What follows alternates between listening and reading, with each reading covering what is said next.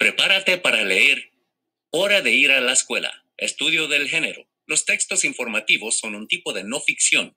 Presentan datos sobre un tema, hacer una predicción.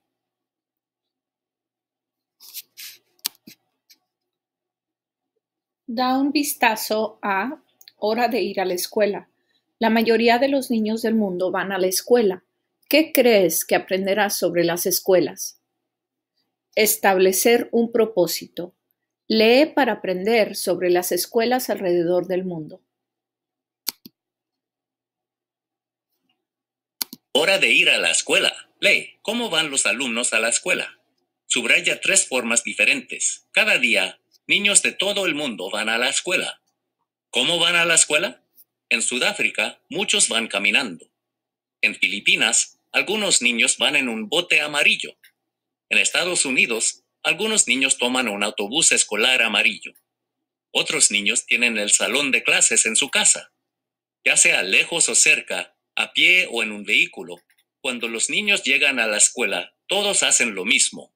Aprenden para leer con atención. Escribe una C cuando hagas una conexión. Verificar lo que entendí.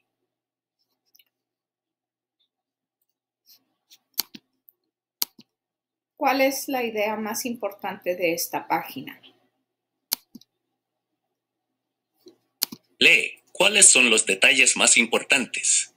Subráyalos. ¿A qué hora empieza y a qué hora termina la jornada escolar?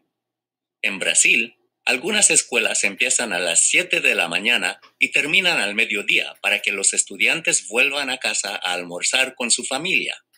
En China, algunas escuelas empiezan a las 7 y 30 de la mañana y terminan a las 5 de la tarde. Sería divertido visitar las escuelas del mundo entero.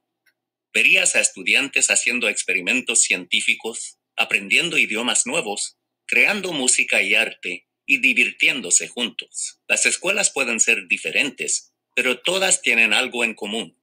No importa dónde estén, ni cómo ni cuándo los niños lleguen a ellas, a las escuelas los niños van a aprender y a crecer. Para leer con atención, subraya una oración que muestre una opinión del autor, verificar lo que cuál es la idea principal del texto,